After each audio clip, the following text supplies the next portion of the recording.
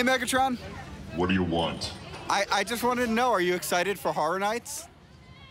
I do not care about that at all. So no, I'm not excited on anything you humans participate in. Oh, why? Uh, well, there's going to be Decepticons there.